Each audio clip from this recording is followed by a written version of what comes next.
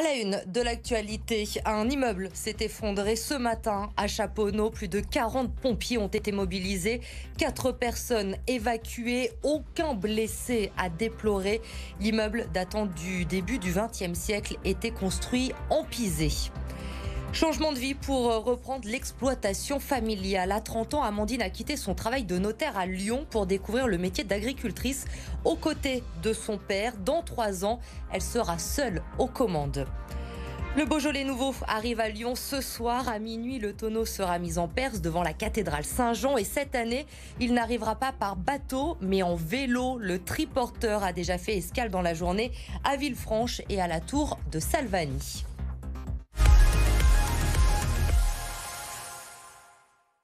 Conséquences auraient pu être dramatiques. La nuit dernière, un immeuble s'est effondré à Chaponneau. L'appartement le plus touché était heureusement vide. Les habitants des trois autres logements ont été évacués sains et saufs. Jade Terlinck.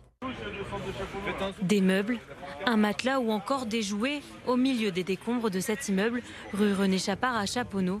Un tiers du bâtiment s'est effondré, emportant avec lui un appartement entier.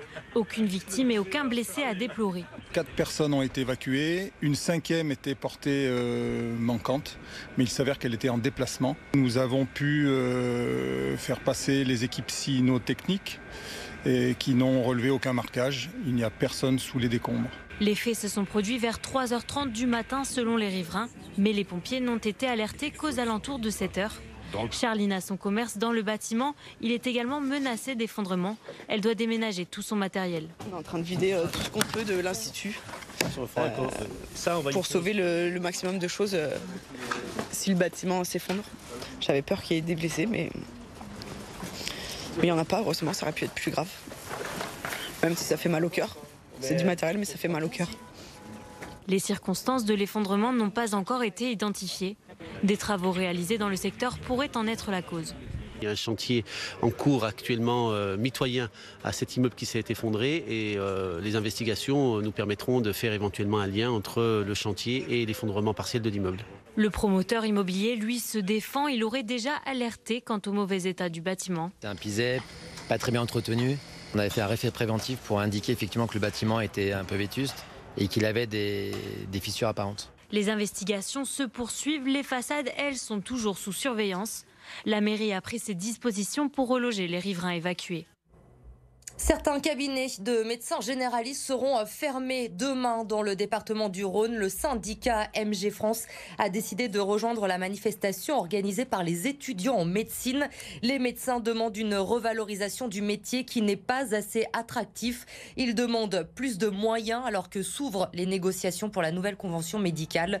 Les étudiants, eux, sont mobilisés déjà depuis le mois d'octobre hein, contre l'application d'une année supplémentaire obligatoire d'internat et l'incitation à l'installation en zone rurale. Ils étaient euh, plus de 2000 dans les rues de Lyon le 14 octobre dernier. La manifestation demain partira, elle, de Bellecour à 14h. D'autres syndicats de médecins libéraux appellent eux aussi à une grève les 1er et 2 décembre prochains. Dans le Rhône, environ 200 agriculteurs atteignent chaque année euh, l'âge légal de la retraite. La question de la transmission se pose alors en disant le nombre d'exploitations dans notre département a diminué de 24%. Nous avons rencontré aujourd'hui une jeune femme de 30 ans.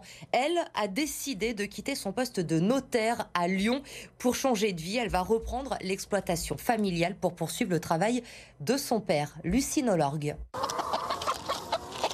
Il y a deux ans, Amandine a laissé tomber les actes de vente pour élever des poules pondeuses. Elle n'était plus heureuse dans son poste de clerc de notaire. Désormais, elle passe 90% de son temps à l'extérieur.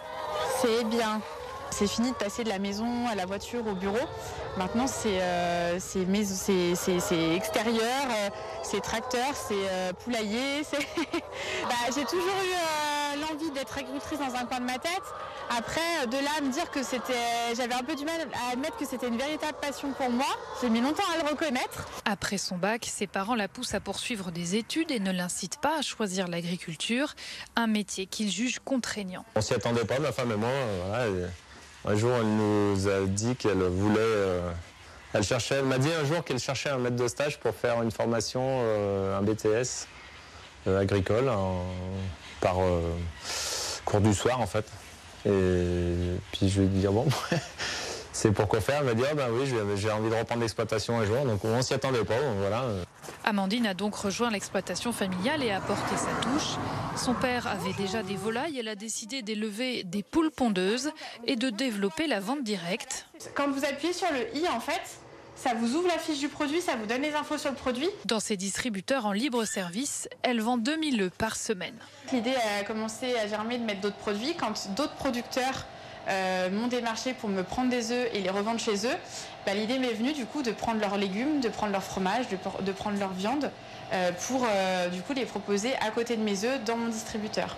Fin 2025, son père partira à la retraite. Elle sera alors prête à reprendre le flambeau avec son mari. La Fédération des usagers des transports de la région hausse le ton dans un communiqué. Elle déplore l'état du trafic des TER, des trains saturés avec des compositions réduites ou inadaptées. Selon la Fédération, le nombre de trains diminue alors que la fréquentation, elle, est à la hausse. Laurent Vauquier, le président de la région, rejette la faute sur la SNCF, mais les usagers considèrent que SNCF Voyageurs ne peut pas gérer seul cette situation. Il demande donc à la région de réagir en louant du matériel et en lançant surtout une nouvelle commande de train. Tous les matins, on joue un peu au tiercé, c'est-à-dire que on vérifie euh, si son train circule, s'il sera à l'heure et si on arrivera à monter dedans. Et c'est pas gagné tous les matins et tous les soirs non plus. Mais toutes les lignes qui convergent vers Lyon sont concernées, donc euh, Saint-Étienne, euh, Grenoble, euh, Chambéry, Bourg-en-Bresse, Saint-Berrieux, Villefranche. On demande à la région de commander beaucoup plus de rames que ce qu'elle a prévu. Et on vient d'apprendre que non seulement ça serait pas livré en 2023 ni en 2024, mais que ce serait plutôt en 2026. Donc ça veut dire que la situation va encore s'aggraver si tant est se peut jusqu'en 2026. C'est le rendez-vous incontournable ici à la mi-novembre, à minuit ce soir. Le Beaujolais nouveau va couler à flot. Et cette année, pas d'arrivée à Lyon en bateau. Non, on innove. Cette année, le tonneau rejoindra la place Saint-Jean en triporteur. Arthur Blé. Un passage par le rond-point des conscrits et c'est la fin de la première étape pour Jérémy. Il y a quelques mois, le viticulteur s'est lancé un pari avec son ami Julien. Le Beaujolais est descendu une fois en courant, une fois en péniche, en barque. Et l'idée, c'était de faire un, comme un fil rouge euh, et, descendre, euh, et descendre avec euh, un triporteur et un tonneau dessus pour l'arrivée du Beaujolais nouveau, pour faire référence un peu au Tour de France comme il passe, comme il passe dans le Beaujolais cette année. Une halte chez un partenaire de Villefranche pour casser la croûte. L'occasion d'un bon verre, mais il faut rapidement reprendre la route, direction la tour de Salvani. Malgré l'aide électrique du triporteur, le trajet à travers les pierres dorées est sportif pour le vigneron. Ça va, ça va Encore 20 km La pause s'impose pour boire un petit coup. Étant donné ma, ma capacité euh, sportive, euh, ouais si, c'est un peu dur quand même. Euh. Vous regrettez pas le défi? Non. Non, bah surtout Julien, il regrette pas lui. Pour les jeunes agriculteurs, l'idée est de promouvoir le Beaujolais de façon originale, d'autant plus que ce soir, lors de la Perse, c'est le vin de Julien qui sera dégusté, le meilleur selon un jury d'experts. C'est notre enfant qu'on a fait, ça fait un an qu'on travaille euh, pour le produire. Donc euh, c'est vrai qu'on euh, est content de ce résultat-là. Millésime qui est très ensoleillé, qui a une belle couleur, qui est euh, fruité. On a cette année, on a encore eu la chance que la météo soit avec nous et on a pu, on a encore un très beau millésime euh, à déguster. Après une pause à la chambre d'agriculture, les deux comparses ont repris la route. Ils sont attendus dans la soirée sur le parvis de la cathédrale Saint-Jean. Après un mois d'octobre record en termes de douceur, les températures commencent à chuter hein, dans le Rhône ces derniers jours. Vous pensez peut-être à acheter d'ailleurs votre manteau pour l'hiver. Eh bien, pourquoi pas opter cette année pour une doudoune faite à 100% avec des matériaux recyclés et fabriquée chez nous dans la métropole lyonnaise à Brigné. Anaïs Bernard. Sous ces tissus se cachent des bouteilles en plastique transformées. C'est dans cet atelier que la première doudoune Made in France, entièrement composée de matériaux recyclés, prend forme. On est fiers de pouvoir développer justement la première doudoune fabriquée en France à partir de matières recyclées. La doublure intérieure, le tissu extérieur et la ouate à l'intérieur sont issus justement du recyclage. Aujourd'hui, euh, s'habiller en Made in France sur du t-shirt, sur du sweat ou sur du polo, euh, c'est facilement trouvable. Par contre, trouver une doudoune fabriquée en France, taillée pour l'hiver, c'est plus compliqué. Donc d'une part, l'empreinte que l'on a euh, sur notre région et par le besoin que l'on a des consommateurs, ça coulait sous le sens justement de pouvoir sortir une doudoune taillée pour l'hiver, pour hommes et pour femmes, qui soit fabriquée en France et qui soit le plus responsable possible. Dans une démarche écologique, la proximité est au cœur du projet. On a respecté un code couleur justement un peu made in France avec euh, notamment les passepoils qui sont bleus et qui sont rouges euh, au niveau de la poitrine. Le tissu et la doublure intérieure sont tissés et teints dans le Rhône à Saint-Romain-de-Popet, puis assemblés à Brigné. On va monter d'abord la doublure intérieure avec une poche zippée à l'intérieur, puis nous allons travailler sur le matelassage des différentes parties qu'on va voir au niveau des pectoraux. On va reprendre toutes ces pièces, et il y en a beaucoup, qu'on va mettre vraiment ensemble pour pouvoir créer euh, cette doudoune. Les finitions sont vraiment euh, assez exceptionnelles.